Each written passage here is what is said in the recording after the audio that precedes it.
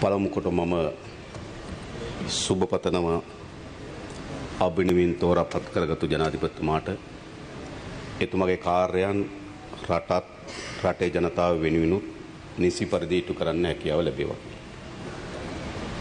ඒ වගේ මා විශ්වාස කරනවා අපිට යම් ශක්තිමත් පාර්ලිමේන්තු තුළ පරු ප්‍රතිවරුද්ධ දේශපාලන කඳවුරක් නිර්මාණ වී තිබෙන බව.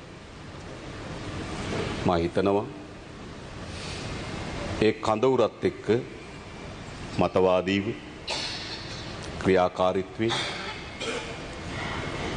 එය වෙනස් කිරීම සඳහා මැදිහත් වී යුතුයි කියන දැඩි අධිෂ්ඨානයක් සහ උවමනාවක් මෙම ඡන්ද ප්‍රතිඵලය තුලින් පෙන්වන බව.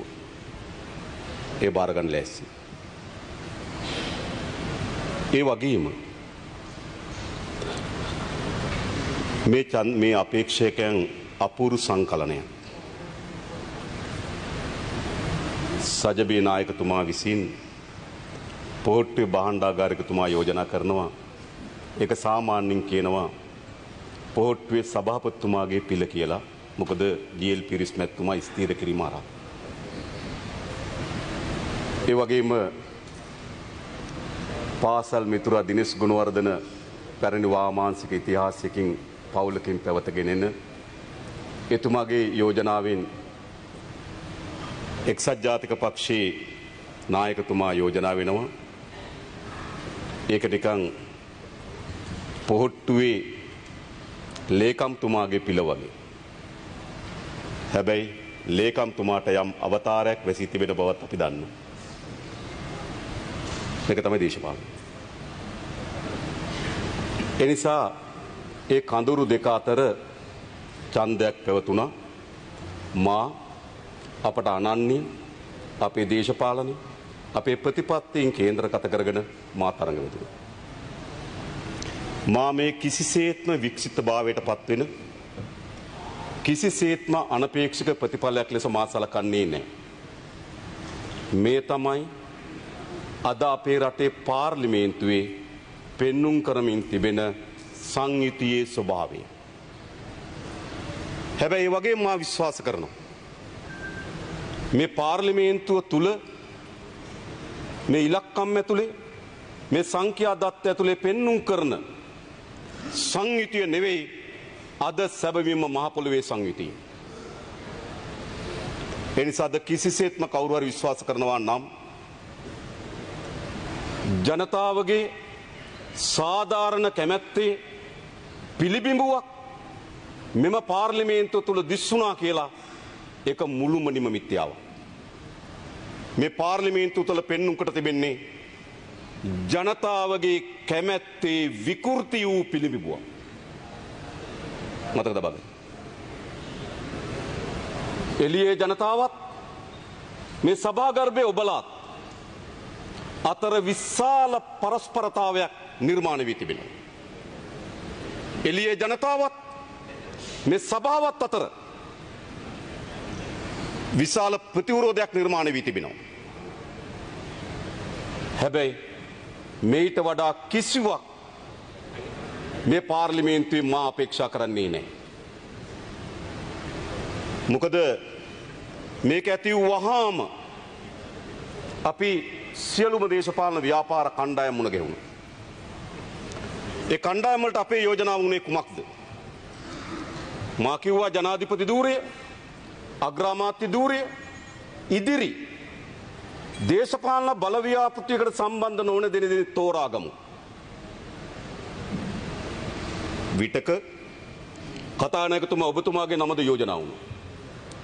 අග්‍රාමාත්‍ය දූරය සඳහා උතුරේ මන්ත්‍රීවරයක මහිතන සුමන්දිරන් මන්ත්‍රතුමාගේ නම යෝජනාව. ඒ අපේ රට්ට ගත හැකි මෙවැනි අර්බුදයකදී අපේ රට්ට ගත හැකි මහගු ආදර්ශ බෝට පත් කරගත හැකිව තිබුණ. මා ගරු කිරීමක් හැටිට කියන්න ඕන ගරු රාව් ෆකී මන්ත්‍රීවර එතුමත් එක අපේ සාකච්ඡාවගේ එතුමා ඉදිරිපත් කරා මේ තනතුරු දෙක මේ පාර්ලිමේන්තිය නියෝජනය කරන කාන්තාවන් දෙකකට ලබා දෙමු. මොකද මෙවැනි අර්බුදයකදී හැර මේ රටේ මෙවැනි ආදර්ශමත් වගකීම් සහිත අවස්ථාවක් අපිට පොදු මහචන්දදි නිර්මාණය කරගන්න බැහැ. අපි දන්න. මෙවැනි අර්බුදයකද අපිට ජනාධිපති දූරේ සහ අග්‍රාමාත්‍ය දූරේ. අනාගත දේශපාලන අරමුණක් නොමැති. සහ එම තනතුරෙන් එක් තනතුරක්. උතුරේ නියෝජනය කරන දෙමළ මන්ත්‍රීවරයකුට ලබාදිය හැකි නම්. කොහොමද රට තුළ මේ සභාව පිළිබඳ හැදෙන ගෞරවේ සහ විශ්වාසය. ඒ වගේම රව් ෆකී මන්ත්‍රීතුමා යෝජනා කරපු. මෙම තනතුරු දෙක සාදහා කාන්තාවන් දෙදෙනෙ තෝරාගත හැකිව තිබුණා නම් අපි පක්ෂපාතී යෝජනාවට. ඒ මොනතරං ආදර්ශ බවට මේ රට පත්වීවිද. අන්න එවැනි අනාගත බලව්‍යාපෘතියක් එක සම්බන්ධ නොවෙන ආණ්ඩුවක ඒ දෙදෙනා ඉහළ තනතුරු දෙක අනාගත බලව්‍යාපෘතියක් එක සම්බන්ධ නොවෙනවා නම් ඒ හැදෙන ආණ්ඩු ඇතුළේ අමාත්‍ය දුරසා වගකීම් භාරගන්න සූදානම් බවත ප්‍රකාශ කර. හැබැයි එක කොන්දේසියක් තිබුණා ඒක යම් කෙටි කාලෙකට පමණක් වළංගු විය යුතුයි කිය. මාස හයක් අපිට සාකච්ඡා කරගත කාලයක්. ඇයි අප විසින් එවැනි යෝජනාවක් කරන්න. අද රටේම කියන්නේ කුමක්ද. රට විශාල වියසනකට පත්වී තිබෙනවා. පෝලිංවල මිනිස්සු මියදමින් තිබෙනවා. දරුවන්ට කිරිපිටි දෙකක් නොමැතිවීමේ අර්බුදයකට මුහුණ දෙමි තිබෙනවා. ගොවියන් තමන්ගේ නාටු කුමර දිහා බලාගෙන හූල්ලමින් ඉන්නවා. දීවරයන් තමන්ගේ වැල්ලට ගොටගසන ලද බෝට්ටු දිහා බලාගෙන පනස්සල්ලෙන් ජීවත් වෙනවා. තරුණ පරම්පරාව තමන්ගේ අනාගත පිළිබඳ විශාල අපේක්ෂා බංගත්තකට පත් වී තිබෙනවා. දුවා දරුවන් තමන්ගේ අධ්‍යාපනයට කවර අනාගතයක් උරුම වේවිද කියලා. විශාල කඩා වැටීමට භාජන වී තිබෙනවා. අන්න එවැනි අවස්ථාවකදී මේ පාර්ලිමේන්තුවට මහගු අවස්ථාවක් නිර්මාණය වුණා. උඩ තනතුරු දෙක අනාගත බලව්‍යාපෘතයක් නොමැති සහ ඒකාබද්ධ කැබිනට් මණ්ඩලයක් කරා කෙටි කාලෙකට මේ රට පාලනය කරන්න. ඒ යෝජනාව තමයි අපේ යෝජනාව බවට පත් වුණේ. හැබැයි යෝජනාව ගැබ්බී තිබෙන ගරු කතානායක තිබෙන කරුණු දෙකක්. එකක් තමයි එම යෝජනාව යථාර්ථයක් බවට පත් වෙන්නේ නම් කැබිනට් මණ්ඩලය අමාත්‍ය දුර 10කට පමණ සීමා විය යුතු කියන ස්ථාවරයක අපි හිටියා. මා හිතනවා ඒ අමාත්‍ය දුර 10ට අදාළ අමාත්‍ය දුර සුමන්දිරන් ගරු මන්ත්‍රීතුමා විසින් සකස් කරලා තිබුණා. ඒ වගේම එහි කාලේ සීමා විය යුතු කියන යෝජනාවක් අපේ තිබුණා. අන්නෙම මූලික හරයම තමයි එම යෝජනා පරාජයට පත් වෙන්න හේතු වෙන්නේ. නිසම යෝජනා පරාජයට පත් වුණා. එම යෝජනා පරාජයට පත් වුණාට පසුව අපි මේ ඇතිවී තිබෙන තත්වයෙන් ලබාගතගේ මහගු ප්‍රතිඵල මහගු ආදර්ශයන් මහගු මැදිහත්වීම් මේ පාර්ලිමේන්තු තුළින් උත්පාදනය කරගන්න උත්සාහ කරත් අපි එකට අසාර්ථක වුණා. අසාර්ථක වුණාට පස්සේ අපේ ප්‍රතිපත්තිය, අපේ අනන්‍යතාවය, අපේ උවමනාව, අපේ වැඩපිළිවෙල මත පදනම්ව මා අපේක්ෂකයෙකුට ඉදිරිපත් වුණා. මා අපේක්ෂකයෙක් ඇදිරි ඉදිරිපත් වෙන විටම මා දන්නවා මේ තමයි මාහට හිමි වෙන ප්‍රතිඵලය කියලා. ඒක කිසිසේත්ම වික්ෂිප්තභාවයට පත්වෙන ප්‍රතිඵලයක් නොවෙනි. ආයක දන්න. හැබැයි මොකක්ද අද අපිට ඇති වී තිබෙන්නේ? මෙතන මහත් ආන්දෝලනයට තුඩු දෙන බෝ සිදුවීම් මේ සභාගර්භය ඇතුලේ සිදු වී තිබෙනවා. සාමාන්‍යයෙන් ගත්තාම මා දැක්කා ඩලස් සලහ පෙරම ගරු මන්ත්‍රීතුමාගේ පිළ හැටියට දෙමළ ජාතික සන්ධානය ප්‍රකාශිත පාවට පත්වෙනවා. ස්වාධීනූ පක්ෂ දහයක් ප්‍රකාශිත කරනවා. ස්වාධීනෝ තව කණ්ඩායම ප්‍රකාශ කරනු. ශ්‍රී ලංකා නිදහස් පක්ෂ ප්‍රකාශයට පත් කරනු. සජබය ප්‍රකාශයට පත් කරනු. බැලුවාම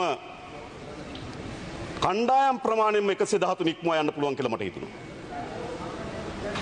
හැබැයි ඒ ප්‍රකාශිත පත් වූ දේ ඇතුළේ සැබවින් මේ සාමාජිකයන් එම කණ්ඩායම් එම තීන්දුවල රැඳෙනවාද.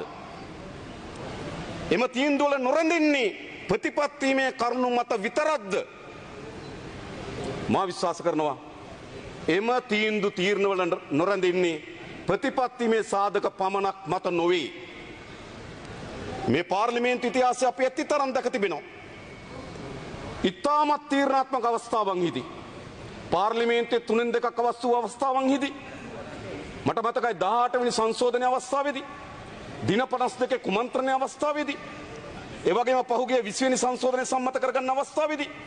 අපි ඕන තරම් මන්ත්‍රීවරු එහෙට මෙහෙට අලවිවුණු ඉතිහාසයක් මේ පාර්ලිමින්තුර තිබෙනවා.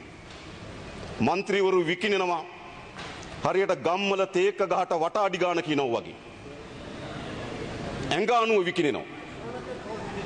මහිතන මේකත් එහෙමයි. එකත් එහෙමයි.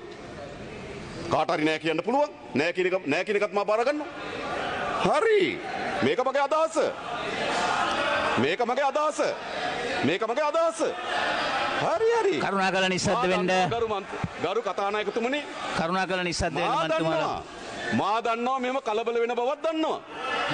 නමුත් මේ කරුණ මේ කරුණ ගරු කතානායකතුමනි මෙතන කියන්න නැත්තම් කොතනද කියන්නේ. මේක ගමට ගිහිල්ලා මන්සන්දියට ගිහිල්ලා කියලා වැඩක් නැහැ. මේ ඇගේ මූණටම මේක ප්‍රකාශයට පත් කළ යුතුයි.